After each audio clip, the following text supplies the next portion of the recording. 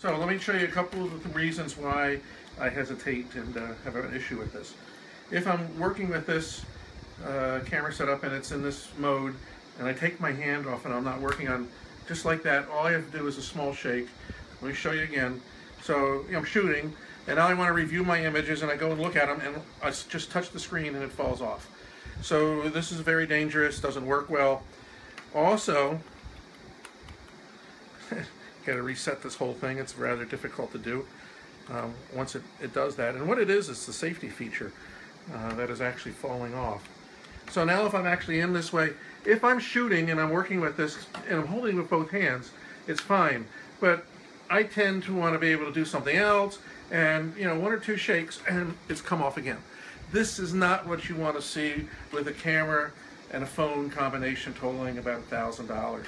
I have the wrist strap on here and once again they don't provide the wrist strap with uh, the device mainly because you know you want the one to do the same thing like that just like that it comes off. So this is the serious drawback. Well this camera has potential. It's not going to go uh, and be popular with anybody when it's breaking iPhones because the iPhones are falling off. This is a very uh, uh, important feature to be aware of and I do hope the DxO finds a way to solve it